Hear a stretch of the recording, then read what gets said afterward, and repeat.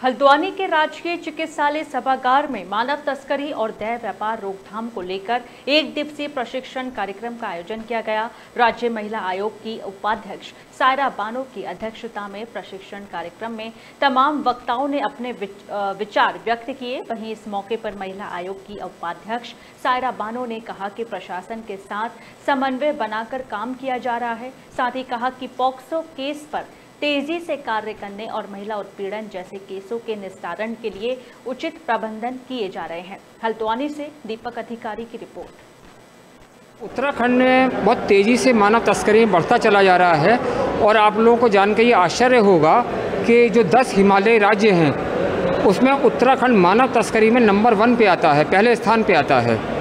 तो ज़ाहिर सी बात है कि स्थिति बहुत ज़्यादा गंभीर है और यहाँ पर जिन जिन कारणों की वजह से मानव तस्करियाँ हो रही हैं उसमें बहुत सारी वजह हैं जैसे हाँ, बिल्कुल चिंता है और इसलिए हमने एक दिवसीय प्रशिक्षण कार्यक्रम रखा है और ये मानव तस्करी को लेकर है और इसमें देह व्यापार को रोकना है और किस वजह से होता है किस कारण से होता है मानव तस्करी उसका प्रशिक्षण ज्ञानंद कुमार दे रहे हैं।